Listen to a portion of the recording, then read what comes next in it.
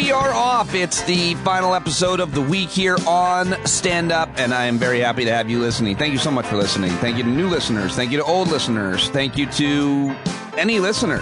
Can't do it without your support and paid subscription. So if you haven't signed up, what are you waiting for? Let's do it now. StandUpWithPete.com. Those of you who have been supporting for a long time, I love you guys so much. I love doing this show. Can't do it without you. It was so great to see like almost 50 of you at the Hangout last night. The subscriber Hangouts are every Thursday night. We went for like two and a half hours, lots of laughs, lots of thoughtful conversation, as always. And I always learn a lot from you. So thank you very much to all those who hang out. Those of you who don't, you're missing out. You don't have to say anything. Keep your camera off. You can keep your mic off. You can just be with us if you want. But you're never alone if you're a part of this community. I hope that you feel that way. And you can always hang out on the Discord platform, which a lot of people do as well. If you haven't checked that out, you should. Okay, well, I've got an awesome episode for you today. Christian Finnegan, Ophira Eisenberg, two of my favorite comedians, joining me together. The three of us together for the first time in about a month, I think. And you're going to love that conversation. It was great. As always, they took the piss out of me, as they say, across the pond because of my stupid mustache. And uh, it was fun.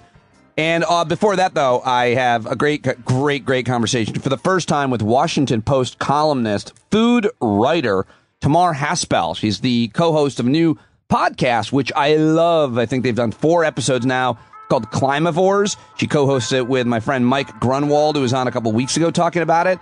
I just think this was a fascinating conversation. She has just a great style and personality, and she's really fun and very, very smart, and has had uh, a, a, really very interesting life. And so I think you're going to love my conversation with Tamar.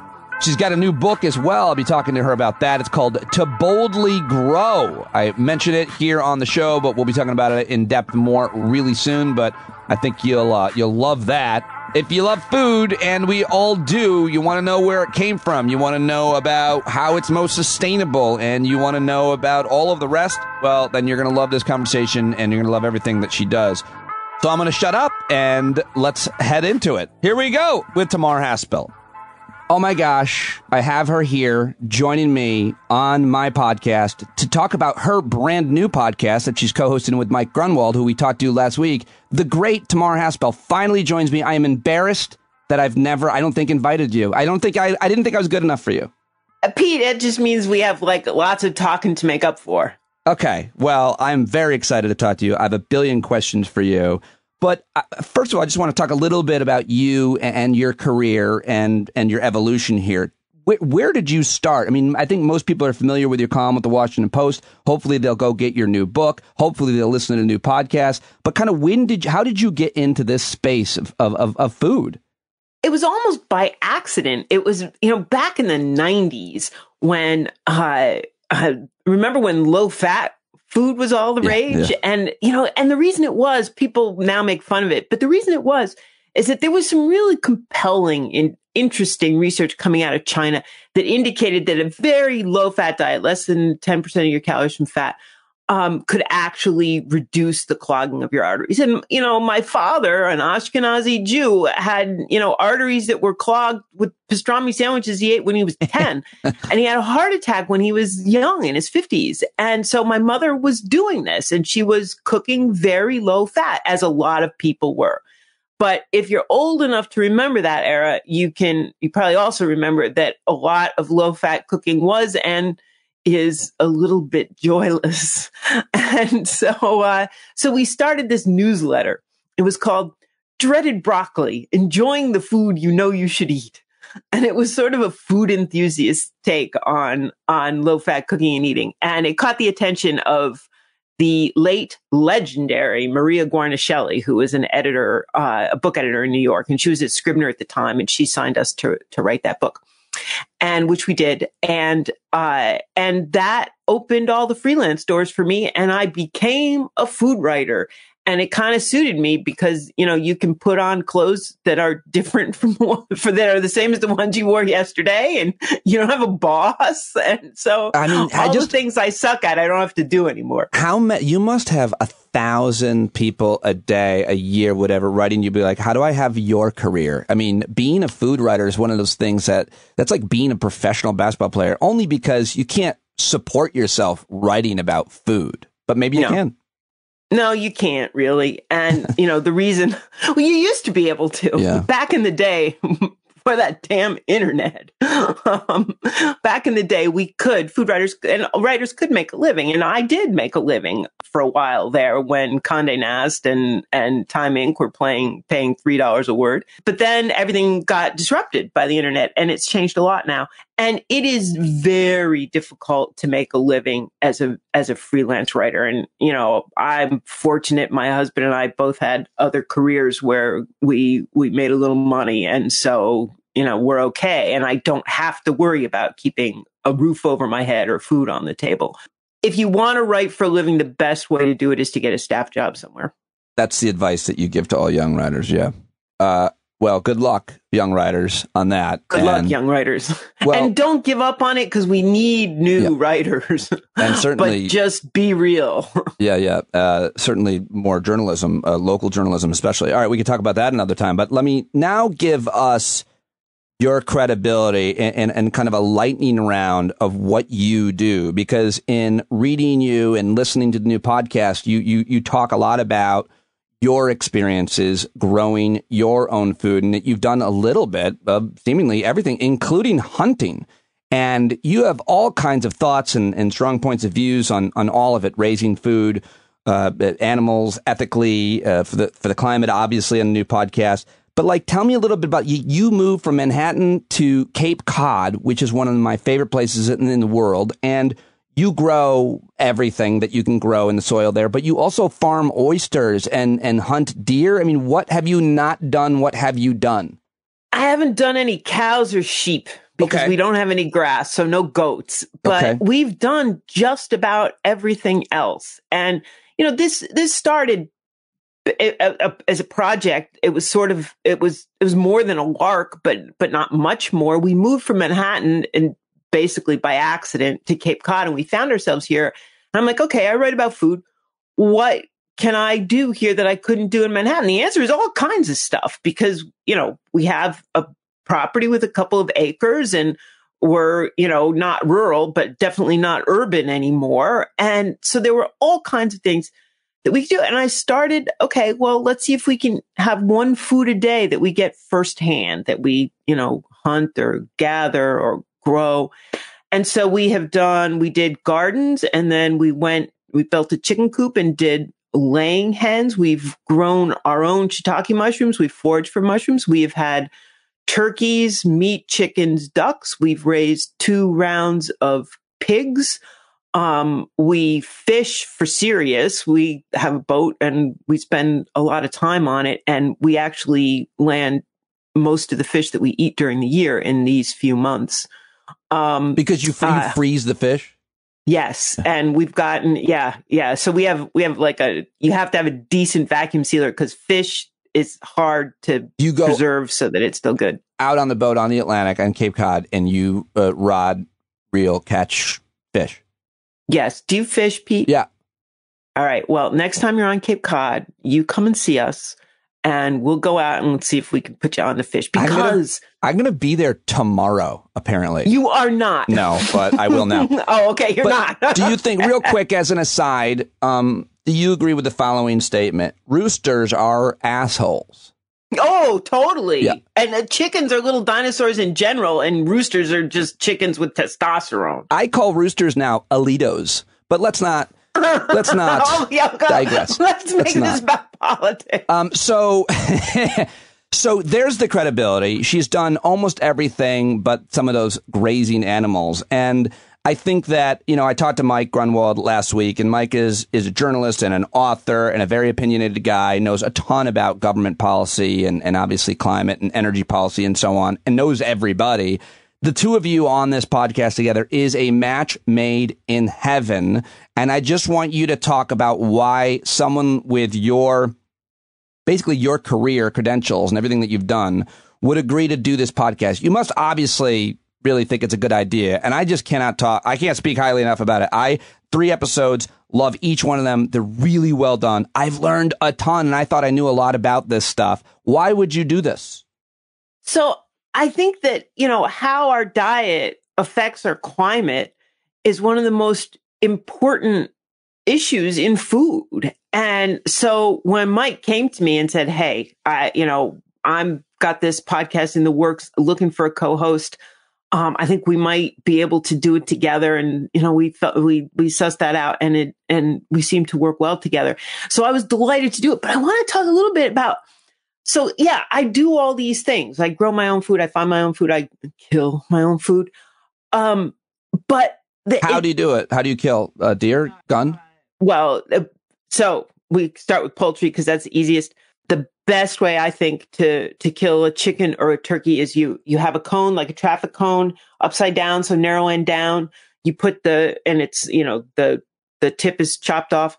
You put the bird in the cone with its head out the bottom, mm-hmm. And you sever the blood vessels. So it's one quick cut, and mm. that's mm-hmm. the only pain that there is. And then the bird bleeds out. So deer you shoot. Um, pigs you also shoot in the uh, and they have a little brain and use a small caliber bullet. Uh, so they're brain dead, but the heart still beats, so you can bleed them out. So yeah, I, I'm pretty fucking good at killing things. I, it's like kind of alarming. Do you have did did did you grow up? Did you kill anything when you were? No, are you kidding?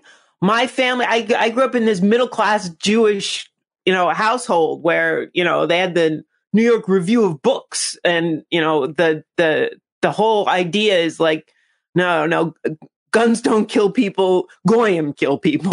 is like the attitude that was in the in the Jewish community. That's really and so funny. no, and and and when we lived in New York, and Kevin, my husband, when I met him, uh, he had uh, uh, a couple of shotguns that he used for trap and skeet. And I didn't even want them in the apartment. Right. I'm like, no guns in the apartment. And he's right. like, honey, without without ammunition, they're just tubes. it's like and eventually a... I, I kind of let that happen. But if you had told me then I'd be shooting my own deer, I I no. Wow. No. Did you have to uh was that hard for you? Yes, it was incredibly hard for and me. Is it now? And yes, it is still hard. And the day it gets easy is the day I stop doing it oh. because something has gone wrong. Mm. Because I think that taking an animal's life should always be a non-trivial undertaking. And, um, and I always do it as carefully and as mindfully as I possibly can. And one of the most embarrassing moments of my career on live radio, and there will probably happened every day, but I was arguing with a caller about hunting even though I grew up in a hunting community, I just never did it myself. And I was kind of like given, you know, taking the piss out of him for killing animals or something. And he's like, let me ask you a question. Do you eat animals? And I was like, yes, a lot. And he goes, and you don't kill them yourself? I go, no. He goes, where do you get them? I go, the grocery store. And he goes, well, then I'm better than you.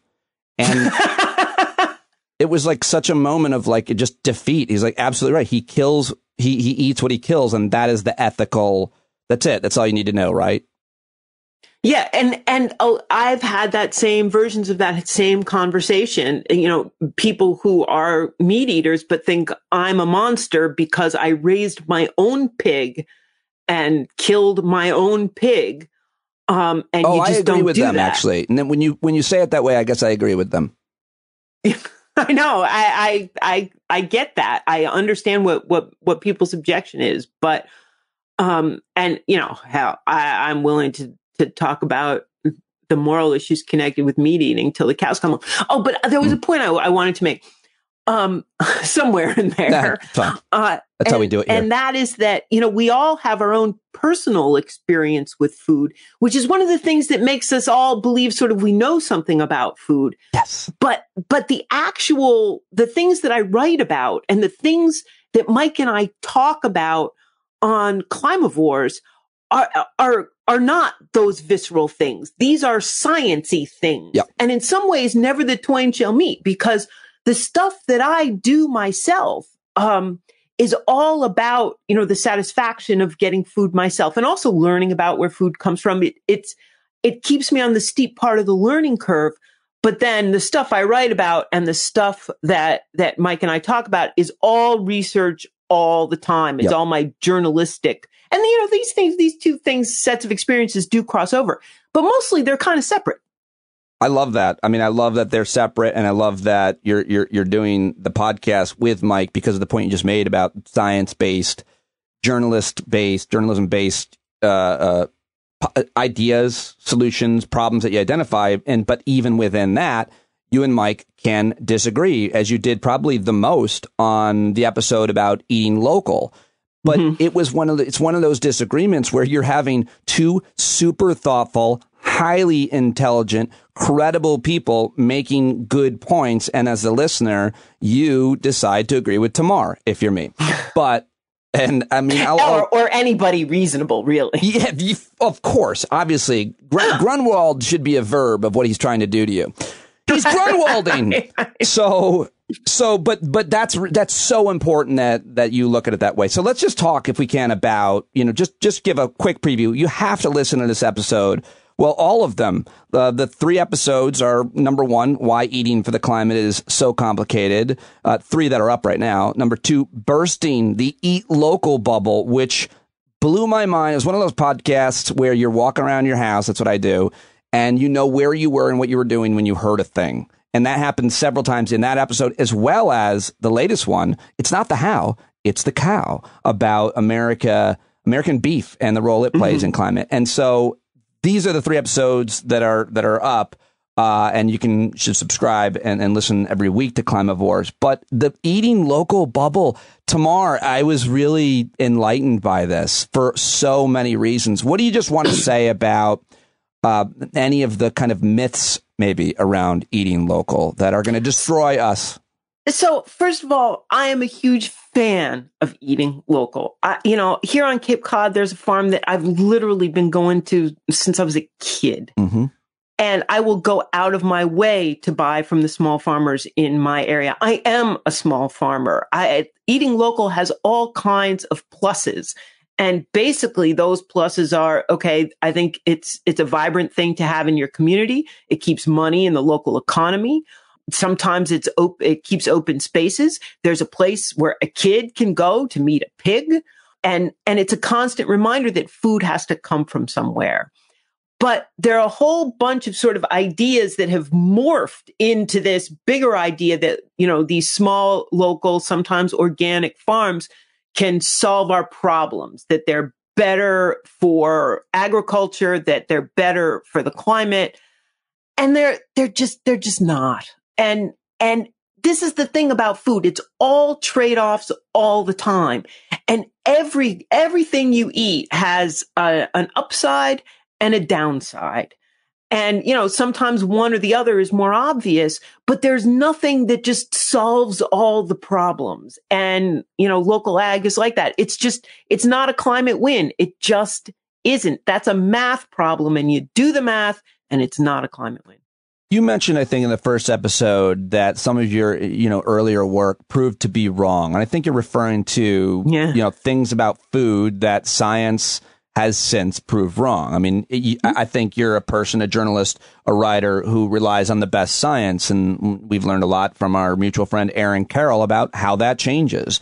How much do we know right now, though, about food when it comes to, you know, what's good for you, what's nutritious? Because there's all these different views and thoughts about that, much of which I guess are, are kind of counterintuitive. So how good is the science and research now? P, we don't know Jack. Right. right. And, and, it's like, so yeah. Uh, uh, all right. Let me step back for a second and say my goal as a journalist is to change my mind because I want to know the things I get wrong. And I have a whole list of strategies that I try and do that. Whenever I write about a topic, my first thing is to find the smartest person I can find who disagrees with me because I've been doing this for decades. Yes. I have opinions about this stuff yes. and listen. And so, yeah, so the, I, there's a whole bunch of stuff I've changed my mind about, including low fat diets, which I wrote a whole book about. And but what it, what I think I've come to believe after many years in this space, and I know Aaron and I see eye to eye on this, is that surprising as it sounds, we don't have good tools to, to, to explore the connection between our diet and health And, you know, there are basically two ways to do it. We can amass a huge cohort of people and we can periodically ask them what they eat and then we can see what happens to them. But there are two huge problems with that approach. Number one, the diet, people are terrible at telling researchers what they actually ate. And so the, the, all the databases are woefully uh, uh, that's uh, inaccurate. Yeah, of course they are. I can't even remember. I mean, yeah, for different reasons, I'm sure. But go ahead. Sorry. So anyway, if you ever question, if you ever doubt that, here's what you do. You go onto the internet and find yourself what's called a food frequency questionnaire. And hmm. you'll find one that goes with one of the big cohorts out of Boston. And you try and fill that out and tell me how many servings of cabbage you ate in a year. Um, Zero. And, and it's like, and it goes, it gets harder from there. But the other problem on the the big cohorts, one problem is that the data are inaccurate. Yep. Um, but the next is that it, it's hopelessly confounded. So if you look at people who eat a lot of meat, they tend to die earlier than people who don't eat a lot of meat. But when you parse it a little finer, you're like, okay, well, is it the meat or is it something about meat eaters? Because they tend to die more in accidents as well as everything else. So maybe that's an indication that there's lifestyle issues. And people who eat one way are totally different from people who eat another way in ways that we can't always even understand, let alone control for. Well, so I think it's, it's probably to study because, nutrition that way. Go ahead. Sorry. I, well, I just think it's probably because people who eat meat take a lot more risks and, and we're tougher and like vegetarians and vegans are like cowards and, and wusses. Right. And they just, they stay home with their lentils. they, and, they, uh, they read. Never do anything risky. Oh, that's um, no. It's yeah. It's such an important point, though, about the statistics and and the studies and human behavior. And I, you know, you're just mentioning that you just how many people have fallen for these diets and books about uh, the you know the the blue planet diet or whatever the Mediterranean diet you'll live longer people live longer in Asia uh, because of their nutrition or uh, there's so many things and they've all been debunked haven't they well it's not so much that they've been debunked it's that all of those diets are perfectly reasonable ways to eat and so if that's what you enjoy go ahead and do right. it but my real beef with them mm is that, okay, first let's take as a guiding principle. If the experts disagree wildly, it probably means it doesn't matter very much. And so, so we have this field where we don't really know a lot, but people are making hyper specific recommendations. And what that does is it gives ordinary people this idea that eating healthfully is the province of experts and you need a white coat and an advanced degree to figure it all out. And that's just bullshit. If you eat a wide variety of whole-ish foods in quantities consistent with the weight you want to be, you will be fine. If you don't know Tamar Haspel, you're probably falling in love with her the way I am in terms of the no, way. No, that, no, no. There are lots of people out there who are thinking that's not the word I was thinking. No, not this audience. The way that you're talking, the way that you're communicating it, it's it's so it's so helpful. I mean, I've always, like I said, loved your column at the Washington Post and knew you're a very respected writer. Uh, but I uh, I feel like I've lost time and, and, and not talking to you in the past. But here we go. We're making up for it. So okay, we the, are. the eating when it comes to uh, well, actually, this was not on the eating local episode. But let me just ask you this right now, because I, again, I knew where I was when I heard this. When we talk about agriculture, when we talk about farming, we talk about actual space, uh, uh, acreage used for beef, cattle uh, versus vegetables. You, I feel like you said something like one percent that's farming is is so, vegetables is is um plants. Yeah, well, no, it's vegetables. Vegetables is different. Sorry. Yeah, it's totally different, and it's that distinction that matters because when we think about okay, how do we eat better and how do we have a better agriculture? Everybody immediately turns to vegetables. Vegetables are on their own plate. Vegetables in nice green rows on on the farm.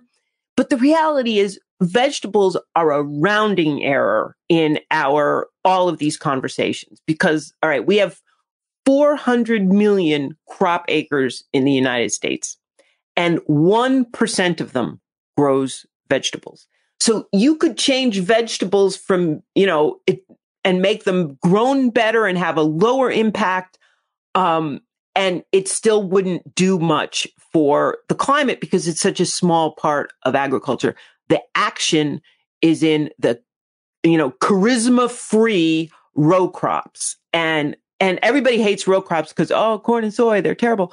But the reality is corn and soy as plants are wonderful. As Twinkies, they're not so great.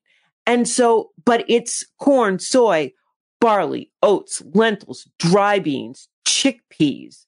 These are whole grains and legumes that we can grow at scale without backbreaking labor, without a lot of waste because they're shelf stable. These are the backbone of a healthy diet for plant, for people and planet. And vegetables are a blip. I'm in favor of vegetables. I eat a lot of vegetables, but they're not the backbone of what we should be talking about. What should we be talking about when it comes to agriculture? I mean, because I, as I think you mentioned before we started, you know, I'm pretty good at finding smart people that are that are good at explaining uh, policy and, and and research and science, medicine. Man, I'm confused about the way forward agriculturally. It's so easy for any of us to demonize big uh, corporate farms. Obviously, consolidation of the family farm and, and it's, you know, capitalism in general. Obviously, that seems to be the problem in terms of we grow things that aren't necessarily efficient and don't feed the, the world. We grow things that make us the most money and we don't have equitable distribution mm-hmm. and so on. Okay, I'm done. What do we need to be talking about?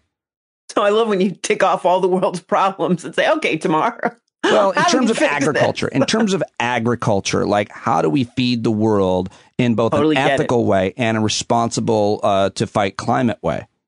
Right. And uh, so, two things. First, the biggest offender climate wise is beef. And I know that there is a contingent that um, you know, it's it's not the cow, it's the how, and the how matters. I mean, grazed cattle are different from, you know, feedlot fed yeah. cattle and the, the implications are different. But again, it's not cut and dried that one is always better than the other. And, you know, the question of whether cattle can offer up enough in terms of ecosystem services, sequestered carbon, um, soil health, uh, decreased wa- water runoff, can that outweigh their carbon footprint? And, you know, I think that from a carbon standpoint, it's clear they can't. So cattle are, are always carbon positive in every study that I have seen. But I think that there's still room for cattle in our system. I just think that they need to be deployed more judiciously and Americans and other developed countries have to eat less. So eat less beef. But the other goes back to this whole plants issue. How can we feed the world? Well, we can feed the world on the acreage that we have right now. And that's really key because what we don't want to do is tear down forests or grasslands to make more cropland because that's, that's a real climate offender. So, and we do that with the, the efficient, nutritious, versatile staple crops. So it's grains, it's legumes, it's tubers, potatoes and sweet potatoes, uh, you know, peanuts. Some places it's tree fruits, breadfruits, jackfruit, bananas are staples in, in some places.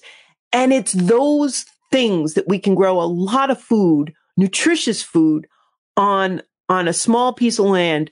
That's how we feed the world.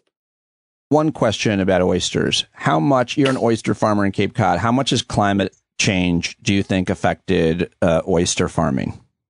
it has it's hard to know to you know tease out because there are all kinds of things that affect farming and to pin things back to climate is is difficult now there are places where specifically ocean acidification is is a problem and that's that started on the west coast and i think we're beginning to see it especially yeah. in hatcheries here on on the east coast um, and anything that changes the quality of the water changes the way people farm. And, you know, our oysters go in the water and, you know, just full disclosure, we've stepped back from the day to day running of the farm, but we did it for 10 years. Uh, we live and die by the conditions right. in the water. And we grow in a place that my husband calls the Napa Valley of oysters because we have a big tide, which means lots of nutrients flushing into the harbor twice a day. We have the right degree of salinity. They're not too salty. And it's just a primo place. But as conditions change, the food changes, yeah. the temperature changes, the salinity changes. and you have to adapt. That's right. You have to adapt, is what I hear every farmer saying now that are growing things in, in, in regions that you couldn't maybe a, a while ago, mm. but that if you're planning for the future, it might not be a terrible idea to put a peach tree in Syracuse, New York, as my friend Kevin is doing. Uh, so, all right, I'll let you go. But before I do, I'm hoping that you will come back uh, as often as I can. And I'm definitely going to go fishing with you. I promise you that. But you have a new book out, came out in March. And I just want you to to preview that. And then when I'm done reading it, I hope that we can talk about it. To boldly grow, finding joy, adventure, and dinner in your own backyard. It looks great. I can't wait to get it. Talk to me. I will be delighted to come back and talk at length, but the the the executive summary is basically that it's the story of uh, my husband and me trying the next thing over and over and over. First, it was the garden. Then we built the hoop house. Then we built the chicken coop. Then we got the turkeys. Then we started mushroom foraging and, and then, and then, and then. And, you know, the project started to be about food, but what it ended up being about was was skill acquisition, yeah. solving new problems, yeah. staying on the steep part of the learning curve. And, you know, I can work from now till kingdom come on being a better writer. And still every time I read like Robert Graves, I'm like, yeah, I should be bagging groceries. and, but, but you never learn as much as you do when you try something you've never yes, tried before. Yes. That increment from zero to one is where like the action is. It's where the satisfaction is. And, and so solving new problems and, and these are things that aging brains, which we all have one, thrive on. Solving new problems makes you strong. It makes you confident. It makes you capable. Um, and it also, you know, when it's food related, it gets you dinner. Ah, it's so great. I love it. And I completely relate to it as I've learned to grow and uh, plants and, and my gardens my raspberry patches and my little tiny space of land here in, in the suburbs of New York City. And I can't wait to uh, be in the stage of my life where I think you're in, where I can have a nicer, you know, two acres somewhere or more and and experiment more because what you're saying and I know this is what the book is a little bit about is that how that also affects you and and we need this now more than ever uh, to be mindful and be in the garden and doing things that have that steep learning curve and man, I mean, I'm I'm satisfied when I learn new ways to string up my tomatoes, which seems like every year I, I try a different way to, uh, to, to to do that, and it's do you hard. do those little hydroponic clips? No, no, I just no, been, okay. These are the best. I, I, you know, my porn now is gardener YouTube, and they're like my celebrities. I'm like, oh, I really hope I get to meet Gary Pilarchik, who I don't know. He's like a YouTube guy. Just uh, I love to watch people and they all have these great ideas that they share about, yeah. Eh, you know, all of it. So it's great. It's so satisfying and purpose driven. You can learn anything on YouTube. That's for sure. Tamar, I really appreciate you. You are one of the best, if not the best, at what you do. So to, to the fact that you're now also doing the podcast, we're we're all better for it. And uh, unfortunately, you have to deal with Mike Grunwald, but he's you know he's got his moments. I, I'm learning strategies to keep him in check. you're doing a great job. Thank you so much. Thank you, Pete. It's a pleasure to talk to you. Well, there she goes, Tamar Haspel, for the first time on Stand Up. What did you think? Boy, I really liked that conversation. Learned so much from her and the podcast and her Washington Post column and her new book, To Boldly Grow, which I'm going to be reading and interviewing her about very soon. Check her out at tamarhaspel.com. And of course, check out the new podcast, Climavores, that she's co hosting with Mike Grun- Grunwald, who I talked about a couple of talked with a couple weeks ago, so I've talked to them both now, and I'll be listening to that podcast. I hope you will be too, and I'll be definitely be having them both on again as well.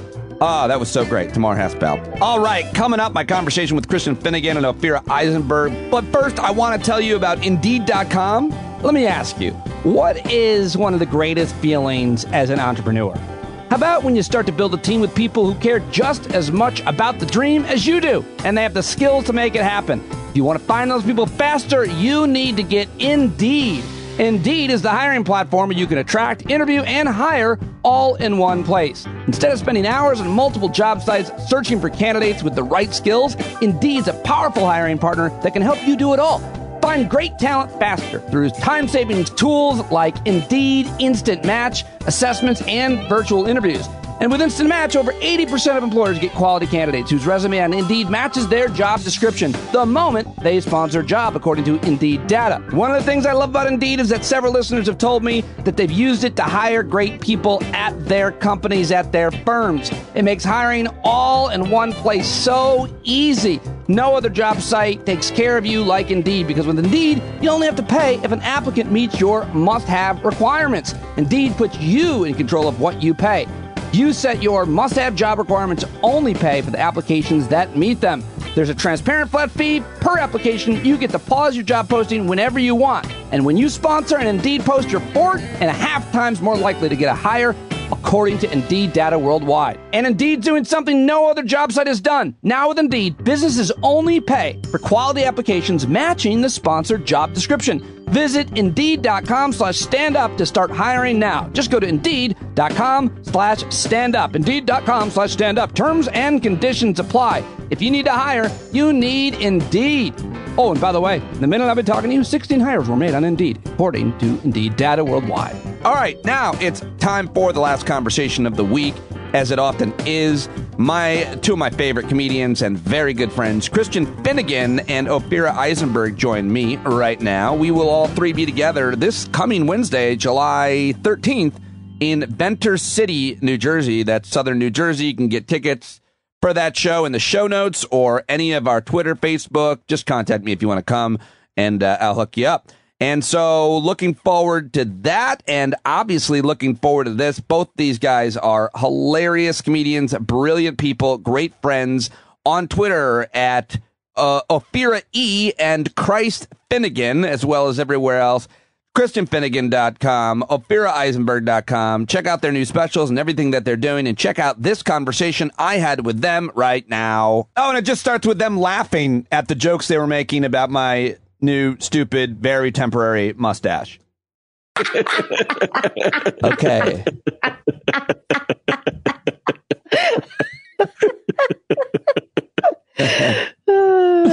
You're saying what now, like that Mike? Pete's kind of laughing. Uh, no, I. So I have uh, I have shaved my beard off for some bizarre reason. I lost a bet, and uh, I just have a mustache, and I can't wait to get the beard back in. But what do you both want to say about me? How I appear? Be honest. I just said that you should do a lot of auditioning this week because I know that there's a lot of roles for perps. Uh, I think you can get in some good self tapes right now. You also kind of look like a, uh, you look like uh, the good cop who's really a bad cop. For sure. you know oh, what the I one mean? you think is a good cop, but then it turns Yeah. out to be the bad cop. I got it. yeah, exactly. Yeah. Don't you think? White Yeah, and especially with the sm- bald with a thick brown mustache. Yeah. And I, I had said that you look like an Australian nature guide. Yes. That you have a sort of a. you got to do the act out. This is a wallaby. Crikey. God's creatures. I just want to move my mouth to your voice. It is a wallaby. Crikey. Well, you two, I, you've been missed. I missed you. I've missed you. We got together. Here we are. We're together. It's post 4th of July. Both of you had uh, plenty to say about that time of year. Ophira, you, you said uh, you think that America, this country has long COVID, is what you said on Twitter. I think is, That is what I said. and then uh, and I was I was waiting for people to get back to me and be like, you know, I I understand long COVID is a real thing for some people, and I didn't want to. I did. I was just waiting for someone to write back either something pro America, something about like how dare you make fun of long COVID. I know. I, I'm shocked no one did. Yeah, it's it's the bonus is Christian because they weren't reading. Well, they didn't see point. it. Well, Christian uh, upgraded you, your comment. oh yes, he did. And he had p- potentially one of the most viral uh, tweets of, of, of his uh, Twitter career. Is it rank? July 4th this year feels like attending a birthday party for someone in hospice. You really went for it. I went for it, baby. You're and though. uh, Uh, I, my dad uh, his friend read it in the Lowell newspaper. Oh, the Lo- I, apparently it got aggregated into uh, my dad's local paper in Lowell, Massachusetts. So your dad get a, and a did yeah yeah a giggle Mhm. out of that? Did he like it? Uh, I mean, I think he's just happy that I have a credit for the first time in five years. but uh, um, Now, yeah, what it, it got What it went got wrong? aggregated. Uh, uh, that do you know who that dude uh, Conceptual James is? No. He's one of the biggest pieces of shit on Twitter. Mhm. I think his name is James Lindsay. He's sort of like a like a bargain, like a uh, dollar store Charlie Kirk, or uh, you know a Jack Posobiec, just one of those aspiring right wing Twitter douchebags. And he retweeted it, and so I got a lot of uh, I got a lot of responses from very smart people with a lot of. oh that's how it that's how it went into the wrong hands I, yes, I mean it always will uh, eventually, and you know, and like you we were talking about the sort of sanctimonious. My wife, I didn't put it on Facebook just because I don't give a shit about Facebook, but my wife put it on Facebook, and of course, I got like some, I got like five messages from some lady being like, "How dare you insult hospice?" It's like I'm not, I'm not insulting hospice, whatever, you know. And just it, all this crap, like, can we chat? Like, she must, she must have written me five times, like, Oh. oh, and you're not going to respond to me. And I just Right. went back to this lady. I was like, oh my lady, god I don't fucking like I don't know you. Like who Yeah. like you think you're the only person to encounter mortality in your life and like s- complete strangers are supposed to just tiptoe around your grief? Like like the, the, the sort of how ready everyone is to not even be offended, but to take on the mantle of being offended just as a way to sort of achieve some sort of moral high ground on a complete stranger Yeah. for no reason at any given time. That's why I'm saying I'm But shocked. my no mom, one my mom didn't know. you, My mom Ophira. didn't know that when she reached out to you. She was genuinely offended by it. To be fair, she's not that. She doesn't overthink things well, like that. She can fuck entirely off. you know, it's funny though because I even had with the thing where someone is in Facebook uh, talking to you, talking to you, and then I mean they're not talking to you; they're just writing you all of their garbage, Mm. and then when you don't entertain the garbage that is hateful towards you, they're like and nothing, and you're not even gonna. yeah. You're like what? And I even had that with someone trying to be nice. Some guy reached out to me on Facebook. He's like, you know, I don't see a lot of uh, female comics, and he was paying compliments. And then there was a thing about him, and then there was another thing about him, and there was another thing about like, since I watch you, I also watch this person. You know, I'm just like, okay, fine. Like you're just having a conversation with yourself. And then there was a thing about like, oh, great, not even, not even going to say anything. I compliment you, and not even going to say anything. And I was just like, oh my god, what is going on? I do a thing sometimes, at least it happens on Twitter, where some person has an anonymous Twitter handle and they really just won't leave you or an argument or a conversation alone, and they're really not making good points or arguing in good faith. I do this. I've done this several times. You might know, like have heard me talk about it, but I, I did it the other day, where I just like tweet them. I'm like, call me, like say all these things, ah. and I'd love to talk to you. I, I will tape it. And it'll be entertaining for people, but but you know if you uh, just be a real person and, and call me because I don't want I don't like this I don't like this argument. If you really want to, I'll, I'll I'll argue with you, and I it, I find it uh, uh, entertaining. But they never do. They almost never call.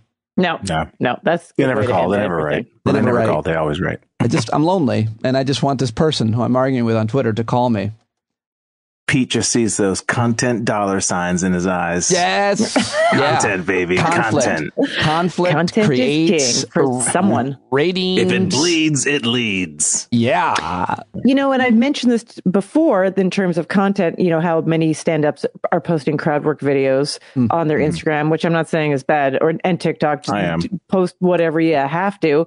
But, and I worry that it sets up uh, an expectation when audiences that are not familiar with coming to comedy clubs in the past come to a show that they're like, oh, this is what it is, because Mm. they don't have any frame of reference. oh yeah, And I was told at one of the clubs I was working on the weekend that a, you know, bachelorette part, I, actually, sorry, it was like a 24th birthday party, not even a significant birthday, may I point out. they all stormed out like before the end of the headliner because they said uh, we expected this to be more interactive. As a matter of fact, we sent an email beforehand saying that we wanted to be par- like be part of the show. It's like Good for you. since, since when does stand up work like that? I sent Wow. an email to the Yankees demanding that I play right field, and they did not respond to me. But but I, w- I was like, that is some ballsy stuff right there. Oh, that's interesting. Yeah. It could be an interesting development. Tell me who books that. I, it's exactly what I want to do. It's all I've got. it's all I have. Uh, Well, and to, to me, I mean, you know, I understand, like, you know, I loved Todd Barry's crowd work special because he's a very specific brand of crowd Yeah, work. And, yeah. and, but to me, the, the fun thing about crowd work when it's done well is that it's ephemeral. Do you know what I mean? That, that it's this thing Yes. that happens in the moment and that you have, it has to be, it's all context based. You know, just, just seeing like, oh, some random person called me uh, dumb and I responded by saying you're dumb. Like, like, I don't, I don't know. It just doesn't, it doesn't travel well. Agreed. 100%. my crowd work Yeah, travels really well. I just use the same bit on the big guy or an old guy. It travels really you just well. lead them into a rhetorical cul-de-sac Yeah, where yeah. you know what they're going to say, and then you have your ready-made retort to come. That's that's how I do crowd new work. special rhetorical cul-de-sac will be dropping within months. But honestly, though, that's why so much of these sort of uh, debate me types on Twitter, the sort of the Charlie Kirks, the Ben Shapiro's, the all these people, like that's why I feel like I see through them so clearly because what they're doing is essentially crowd work. You know, which is that you know, I'm sure Ophira, you have yours, Pete, you have yours, whatever. It's like I have certain questions that I can ask someone that will trigger a few Yeah. between two and three responses. Oh, yeah. And I have retorts to those responses. Do you know what I mean? So it's like I lead you into where I'm trying to get you into my kill zone. Uh, and then I drop my hilarious quote unquote improv joke. Uh, you know, and that's the way all those all those dudes are. Yeah, I like using crowd work to lead into a bit sometimes just to kind of like switch the energy up too. I mean, I do that. I do that a lot too when I feel like I have to win over a crowd way harder. I like using crowd work Yeah. to replace written material that I thought about and crafted and worked hard on. Speaking of which, we've got another gig on the books. That's right, everybody. Ow. It's this Wednesday, the 13th of July, Soul Joel's Comedy Club in Ventnor City, New Jersey. Come on out, everybody. First 40 guests are going to get uh, crowd worked to death. I believe this is another one of those movie theaters. It is a movie theater. It's a movie theater that does comedy on Wednesday nights. Yeah. Wednesdays. Southern New Big- Jersey. big comedy movie night.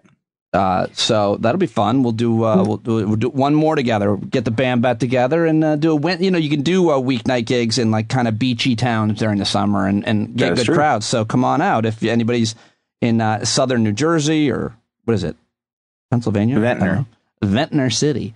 Uh, yeah. I know Ventnor only as a uh, monopoly property. Oh, good Oh. Yeah. Is it? A, it's a yellow one. I believe it is. I believe it is the yellow one. Oh, yellow ones are quality. Yeah, that is quality. It's like I'm at just- least three hundred dollars. Mhm. Just wondering if this- and, and and people land on them. It's not like a And boardwalk la- shit where you put all your money in the boardwalk and nobody ever lands on it. So typical. That is like So New York real estate in like Yeah. a nutshell. Yeah. So, guys, let me ask you about how uh, your your Independence Day was. You also had a, uh Canadian Independence Day. We don't really need to talk about that. It's not Independence Day. It is a. It's called Confed. It's based on joining, not leaving. oh, uh, uh, who joined? Upper Canada and Lower Canada joined to become Canada, which is base, basically what we kind of know as Quebec and Ontario. Oh, it's called uh, Joining Day. Well, it's based on uh, confeder- what we call confederation, which is joining. Yeah, but that, that's what you're celebrating. You're joining the forming of Canada. Oh, okay, and what are the traditional? Uh, is there any traditional celebration there? Do you guys? Uh, Same thing, barbecue, Yeah, hockey, hanging bullshit. out. There's no hockey. No. it's fireworks. You sure? And- no. Okay. July. I mean, someone's played hockey. You're right. Someone is playing hockey. Someone's playing hockey. street hockey.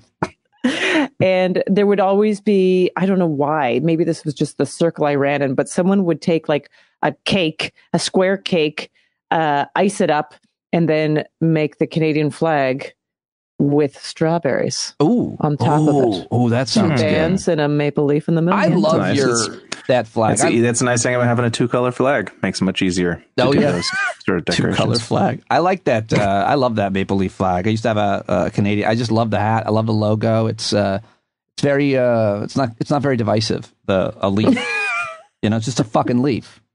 I love it.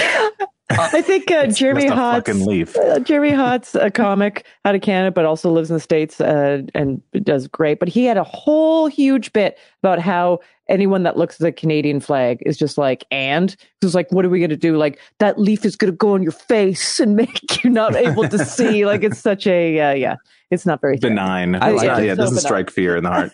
uh, do is it weird that I watched a video of of uh, fireworks gone wrong video where Oh my God. where they just started uh, launching straight at the group of people that was sitting there, including like there was a, a toddler. I've seen one- it. it- You saw it. It was a toddler in one of those play, you know, standing gyms that are outside, and it's just one of those little uh, toy things that they stand in. Those little roly little circles that the, you put the toddler in that they wheel around in. And so the woman, one woman runs, like they just start firing, fireworks just start firing right at everybody, including this little kid. And the, the, some woman runs and grabs, and it gets really um, crazy, really wild video. It's probably been seen by a lot of folks. And I must have watched it 400 times. I think I spent two hours just watching it over and over. Wow.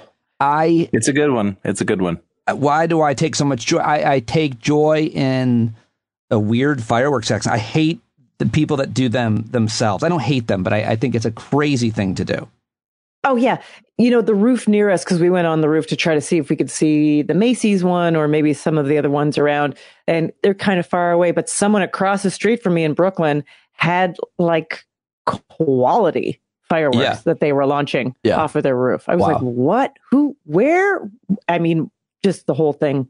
It was a good show, but I do remember when Macy's finished and they all kind of finished at the same time, all around. Like I could see New Jersey, I think a little bit, and maybe there was something at a park I could see, uh, but they all finished at the same time. And then I was like, oh, there's more. And it was like, no, no, no, those are now just sirens because immediately following fireworks, what do you hear? Ambulances. Yeah. Seriously, Yeah. there was so many The finger, sirens. the finger detachment crews are uh, headed all over the Oh, city. or just too. like a bottle rocket in the uh, uh, in the Oh, eye. God. I mean, in a fa- like what a horrible way to be injured. Oh, how'd you lose your finger or your eye? Well, there was that dude on the New York Giants, uh, Jason Pierre-Paul, I think is who was uh, a defensive lineman or linebacker or something for the Giants who blew two of his fingers off Mm. on Fourth of July and basically sabotaged the rest of his professional career. It's like, Really? You I need- hope, you hope need- it was worth it, buddy. Oh my yeah, God. he played for a while with a giant cast over like his weird malformed hand. Yeah, uh yeah for for for a while But i think he, couldn't- he did get back into the nfl but i don't think he lasted long because you know you're down you're down two fingers it's hard. Yeah, it's hard. Right. To get, he, they couldn't give him like a hook because that would be yeah it's hard to grab an, on an people unfair advantage to Mhm. tackle. Ah, he No, fucking yeah, got me with his, his weird hook. so the, here's the other thing. But people, I like that it's an advantage.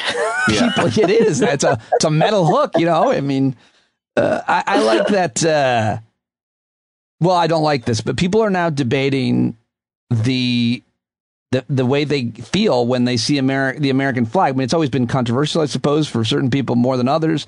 But I mean, now it's like progressive minded people see it as a Trump thing or as a Yeah. bad thing. And and I think so much of that has to do with the month of June's Supreme Court decisions. What do you guys think about the conversation about, you know, America circling the drain, which we could talk about forever, but this year it just seems in this Independence Day, a lot of people are just talking about America differently, especially that women have uh, maybe fewer rights than their grandmothers did. yeah i mean you know the, the whole flag as being a conservative signifier has been around longer than than our current debacle. I mean, you know, I remember George W. Bush. I mean, that's always been the thing of you know, I'm proud to be an American, Lee Greenwood bullshit. And yeah, there and then of course among liberals there's always been that schism, the way there always is of kind of like, no, we should reclaim the flag as, you know, we're Americans too, as opposed to fuck the flag, you know, let's turn it upside down and go all rage against the machine about it um, you know, I I am on record on my my album. I believe it was uh percent joking that I, or maybe it was no, it was maybe show your work. I don't know. I I am not a fan of the American flag aesthetically. I think it's an ugly piece of uh, stitching. Yep. Uh, I think stars and stripes on the same flag is too busy. Um, but I Plus, you know, horizontal stripes. You know, let's just say that flag, that flag not is- flattering. yeah. Hmm. Yeah. Packing on a few, America. Yep. well, You think that makes the flag on a the flag look fatter? Yeah, makes makes the flag flag That look is a fat. yeah. Well, that is one arrogant I am fat never flag. ever going to think of the flag the same way now after after that. Think of how much more aesthetically pleasing, it, how how much just trimmer it would look if there were vertical stripes. if there can we do uh i mean just be super obnoxious and just go for it i mean let's just say let's just say the flag was associated with leftist sort of a leftist bent let's just assume that do you think the right would uh i mean it's not the confederate flag maybe is that in some terrible way but do you think the right would be like well here's our version they have their version. Well, I mean, what do you think have the like- Blue Lives Matter? they have like flag 10 is? I mean, that's the problem. Is like the, the the flag is a right wing symbol, and yet they still come up with their own versions because it's I not my own right wing version. enough for them. i Right. want my own version It's not- I want Yeah, they they got the they got the Confederate flag, they got the Blue Lives Matter flag, they've got you know Don't tread on me. riding a unicorn, whatever. So what Yeah, would ours be? Would it just be a white woman with a, a thought bubble that says "I'm woke" or something like that? Would it be Yeah. that? It, it'd be probably be like avocado toast. or I something. think our no, I think our flag. I think the progressive flag is the rainbow flag because the rainbow flag is obviously an LGBT, you know, signifier. But I think more than i- it's becoming to some extent, it's like everybody, everybody's in. We want a Well, I- pluralistic yeah, society. but I think LGBT people would be like, "Hey, can you not take our stuff?" no, yeah, I think- exactly. uh, Can you not appropriate our voice? Well, I'll tell you. I'll, I'll, I'll, I'll This LGBT, is really about all LGBT li- listeners, just calm down. It means let let us have it all. It's uh, we thank you for what it meant has meant, and now we're going to uh, co-opt now it, we're taking it represent just like we've done in the past. Yeah, exactly. Just everything. Just everybody. Everybody else. Everybody else needs a flag that is somehow representative of the fact that we're okay with everybody else being different. Well, and, and for so many people on the left, and I consider myself one of them, the whole notion of a flag period is not something that sits so super comfortably with me because I think one of the things that makes someone either conservative or liberal is that some people are joiners and some people aren't. Yeah. And some people want to sort of fall in under a flag. And that is a, to me, a very conservative sort of like everybody has their rank in the hierarchy mindset. And in a, to a large portion of the left, and I consider myself part of that portion, it's more about no, we're all kind of in a coalition of of people or of individuals that are sort of pragmatically joining forces, but we're not, you know, it's not a, it, we're not on a team. We're we're working together pragmatically, Right. Yeah, you know, like and so it makes it a little harder to. what did you know. guys? What did did you think that a a horrific, nightmarish shooting at a Fourth of July parade was as American as apple pie? I mean, it's the only place in the world, the only civilized country. Well, only probably only place that this kind of thing happens all the time. This kid was a sniper in this case. I wonder at some point if even those rational amongst us are are not looking so irrational by saying, you know what, I just don't want to go out into a into a place where you know I could get picked off. I think that is happening. is it? I mean, I, there wonder. is- there's a Grocery store, church, around school. about New York. It's Yeah. certainly it's certainly the case with school with kids. I'm sorry, what were you saying? Um, yeah, I was just saying that there's some articles rolling around in New York uh, about how people don't want to go out anymore. Yeah, I mean, obviously, between that and COVID, you know, it's it's it's definitely, and you know, the ability to work from home and you know, and, you know, Zoom and stuff like that. It the the traction, the the idea of just being in a mass group of people is certainly probably at a uh, a low for in, over the last generation. You know, and and to me, if there's any hope for actual real gun control, it's going to come because just economically, it's not feasible to let all these guns be out there, you know, because Yeah. Eh, I, I, how does it get better without banning these? How does it get better? Because every time one of these happens, you're going to inspire 10 more, you know, I, I, it's just at a certain point, you just, you can't functionally run a country and just without people constantly having to worry about getting picked off from a fucking rooftop. It's just not going to work. Do you think it's too harsh um, to say that if you have a tattoo on your face, that's a red flag? Like you can't, no gun for you. I'm sorry. Yeah, I don't care if it's a happy leaf or whatever it is. You can't have a gun. You have a tattoo on your happy face. Is that your word for a marijuana leaf? I know. leaf? I don't know. What, is that what he had? I, I feel like he had a leaf on his face. I don't know. He was the the most um, likely to kill innocent people looking face I've ever seen in my life. And I mean, I can make all the jokes I want. This guy had all kinds of red flags. Apparently, he wasn't even allowed to have a knife, but somehow he got an AR-15. Anyway, it's I do think it's increasingly like my buddy in Australia. His wife is coming here for business for like ten days, and he's worried sick over about a shooting. I'm like, I mean, I don't want to tell him he's being around. Just the idea that people from foreign countries are worried about coming to America. This is part of the calculus now. Right. Yeah. Right. Yeah. That, yeah. that it's part of the calculus is um, shocking, I guess. I don't know why someone from, say, Canada would ever get American citizenship at this point. I mean, it just seems like what? such a weird decision to make. Yeah, I agree I just with you. did that a year ago. I, I, I oh. know I'm joking. Oh. That I know, but at, you know, well, the thing is, is that uh, right? I know. Uh, why would I? Why every every single? That's the one thing that um, I was, it made me mad this time that after, after a Roe versus Wade and then the shooting, the amount of people who have reached out to me just in like their idle kind of way about like, hey, uh, I, I'm sure you're thinking about moving back. It's, I'm so sick of that being the conversation mm-hmm. of just like, yeah, so we should all just get like the old like if you don't like it, move. Yeah. Like, because that's never going to help anything. Love it or leave it. It's like, yeah. I, yeah.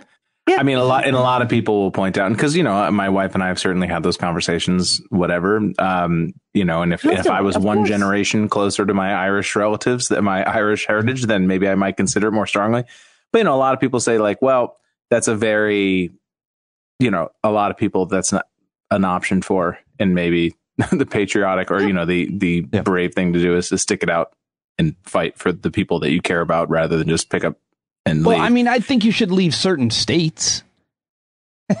sure. No, the sure. same thing applies. But, the same thing applies. People are actually having a, an interesting debate about that. Like some intellectuals saying, "Listen, you've got to you got to get out of those places," and other people saying, we, "No, we're going to fight. We're going to stay, and we're going to fight. This is our home. This is where I, you know." Well, I mean, well the sad thing is, is that if all the all the liberals left those states, it would make things even worse because then those states would be completely dominated.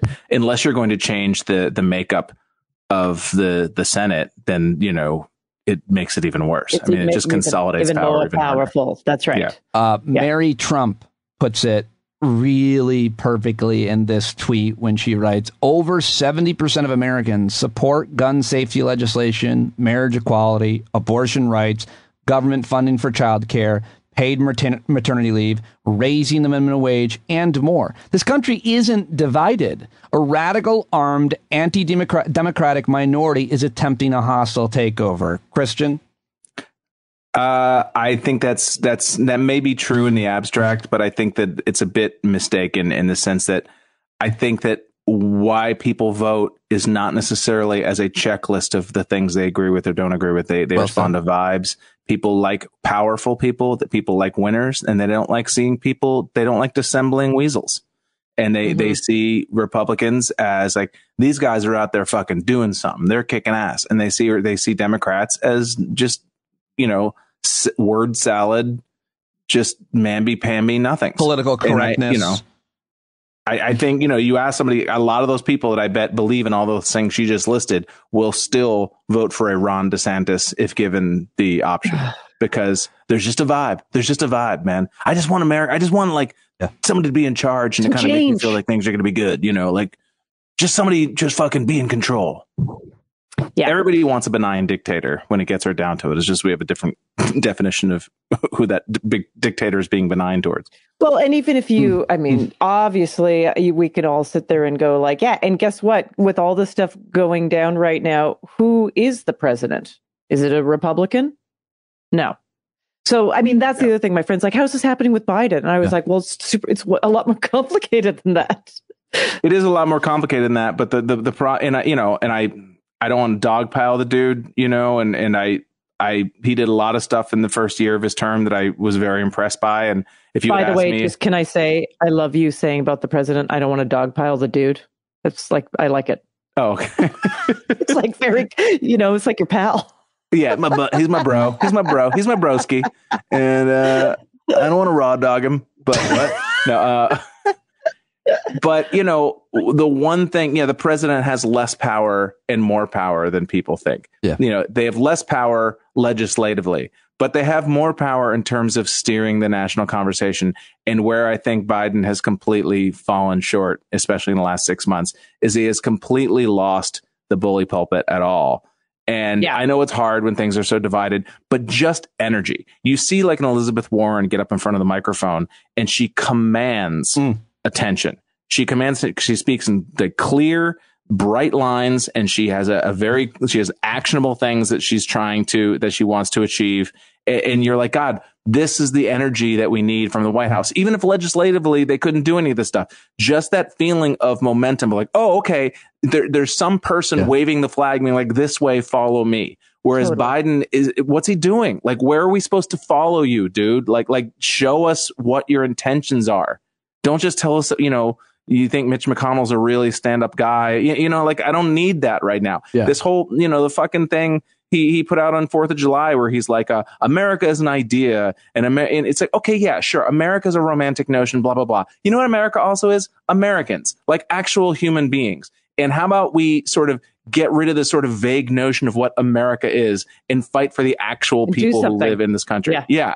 And, and I just, so it's like this whole mamby pamby America's an idea. Like, sorry, dude, read the room, not the year right now. Yeah, or at least you go, America is an idea. So here's my three ideas Yeah. Yeah. that we're going to do. Yeah. just do something. Even if the Yeah. Supreme Court overturns it, like I would way rather him just do something and have them Mm. react to it than just Yeah. constantly react Yeah, to there's, uh, everything they there's do. a, definitely. Let's get some vertical lines on that flag. Damn straight. Come on. Yeah. Well, you this could- is like Jonah on Veep with his uh the daylight savings thing. You could also tell your friend who asked, you know, what would happen to America, Biden's president. I mean, what happened was the, definitely that Donald Trump, because of our electoral college, you know, beat Hillary Clinton and appointed three Supreme Court justices from the Hall of Villains. And and so we could talk about the filibuster, but like what happened in the last few weeks with these Supreme Court decisions is a hundred percent because Opus Dei is running the court. I mean, it's Yeah. it's that's really more than anything else. Uh, Yeah, Certainly, and Trump's everything is so legacy. li- li- too much power.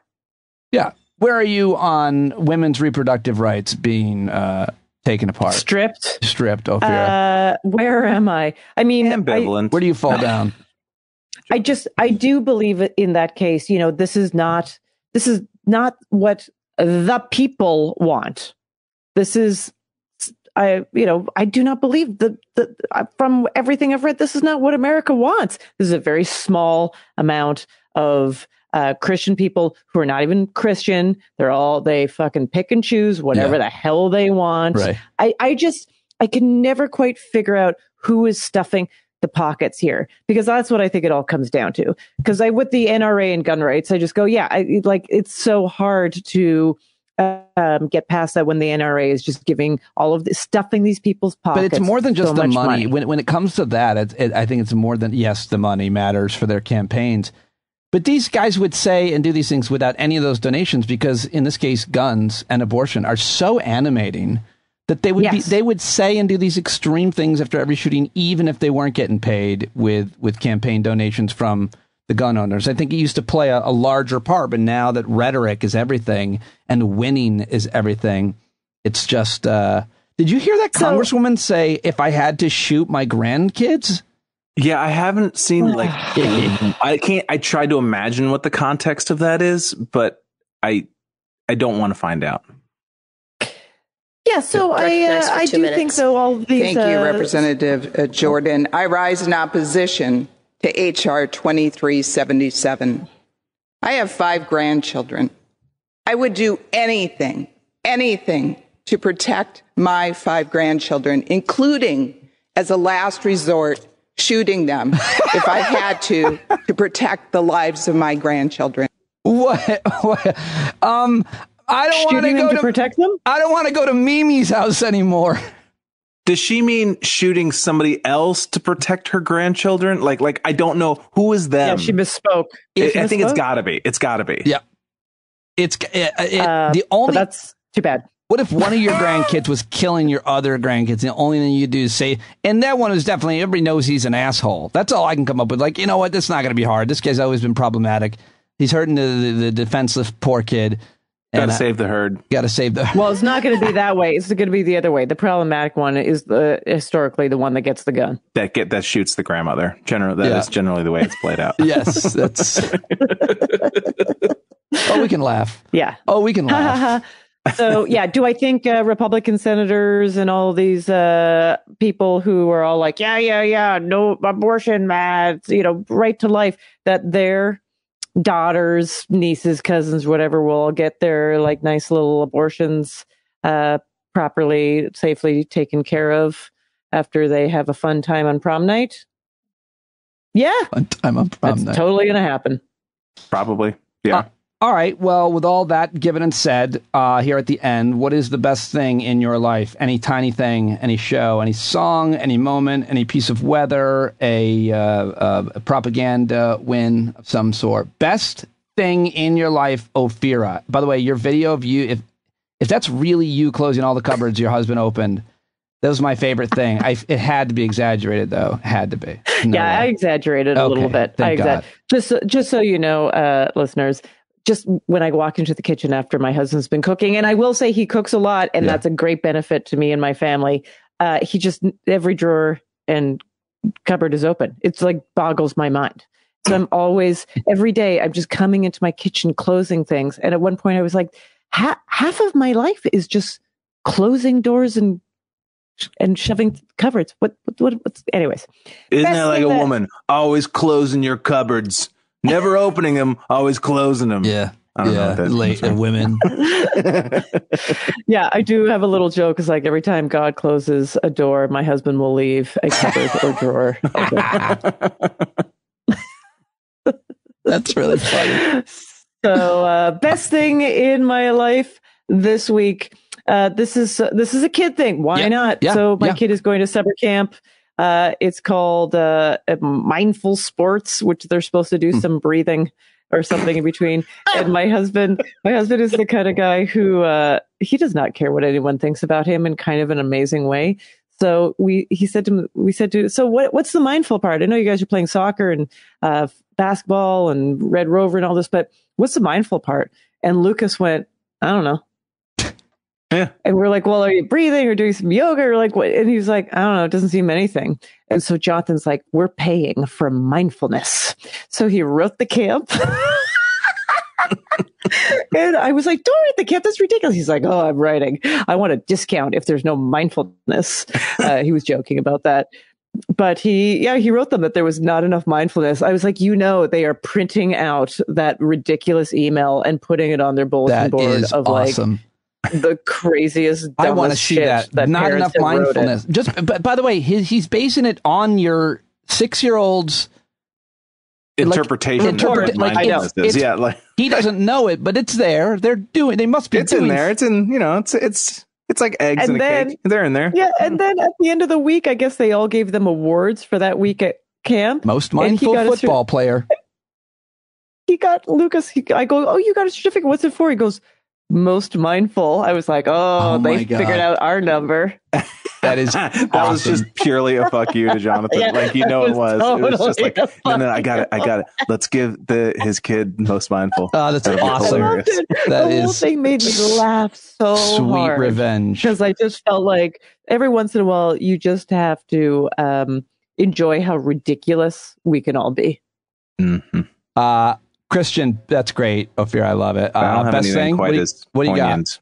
Uh, um. Well, uh, I got together with some friends over the weekend, which was nice. Uh, my friends Bob Powers and Amanda Melson. We were up in the up in the woods, and uh, we we had a grand old time uh, drinking outside and just uh, enjoying the nice weekend. And uh, on a on a com- just a pop culture level, um, I watched the pilot for The Old Man, starring Jeff Bridges, and it's super awesome. If you haven't Ooh. watched it, it's uh, on FX and Hulu. Uh, we haven't watched any other episodes yet, but the pilot is maybe the best pilot I've seen in a Wow, long time. I've heard that from like ten different people about this show. Wow. Okay. It's really good. So I, I hate this when I hear so much about a show and then I watch it and I don't love it and I feel like I'm just it's me like there's something wrong with me. Why can't I enjoy don't this? think- It- it- I because I felt the same way. Like I'd heard a lot of people say it too. Uh, it's great. well, It's enjoyable.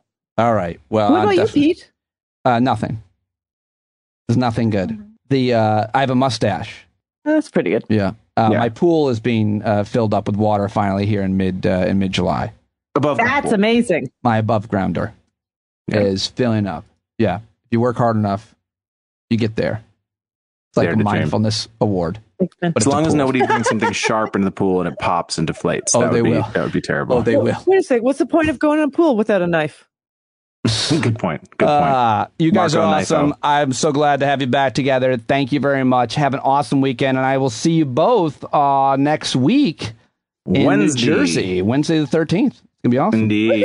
All right. Come on down, Jersey. All right. Yeah, and that is it. We are done. Oh, I don't want to be done. I appreciate you listening so much. Thanks, big thanks to Tamar Haspel, who was so great. Can't wait to get her on again. And as always, Christian Finnegan, Ophira Eisenberg, so good. See all three of us this Jan- this uh, July, almost January, July 13th, this Wednesday in southern New Jersey, Ventnor City, New Jersey, where I've never been and uh, really looking forward to that. Hope to see some of you there, and I hope you have an awesome weekend. I so thank you for listening, and even more for subscribing. If you haven't, please sign up now. Need the subscriptions, as always. As little as five bucks a month or more. You can always pay more. Five shows a week, almost always two guests a show and cranking it out, learning together, growing together with you each and every day. Let me know who you want to hear on the show. Let me know if you want to be on the show, and we will talk. Stand up at Pete at gmail.com, at Pete Dominick, and have a great weekend, everybody. Love you guys. Thank you very much for listening, for your support. Tell your friends, give a review on Apple Podcasts, Spotify, and that's it. I'm done. John Carroll, take over, please. Sing us out.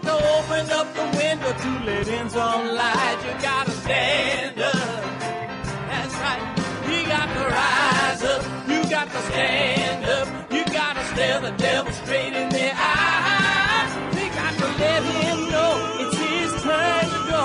See it clear when all you hear is a lie. Don't get up off of your butt, get down off of your fence. And Even if it ain't a very friendly audience, well, they'll begin to listen when you start making sense and you stand up,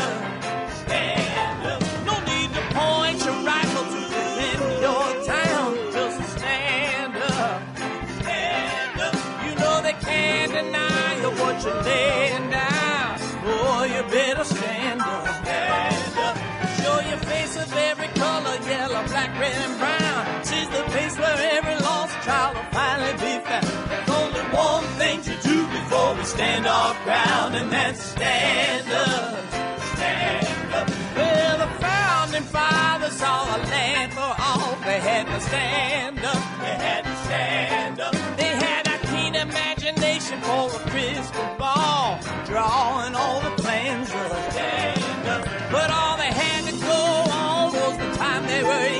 with other causes for laws. And since they weren't even sin, they knew that change was gonna come before the change could begin. They had to stand up.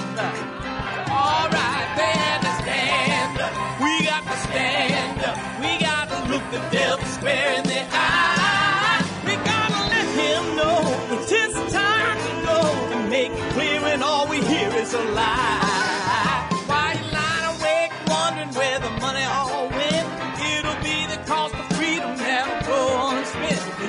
See him flee the scene of that experiment if you stand up. Alright, we got to speak up, we got to reach up and raise your voice in every way you know how. Don't be toes up, you got to show up. Ain't no better time to do it but now. No need to pledge allegiance to no wanton tribe. Rise up show package to the voice inside. And listen well, and it'll tell you not to run and hide. It says, stand up. Stand oh, up. got to stand up. Ooh, come on, just stand up. Everybody got to stand up in the dark.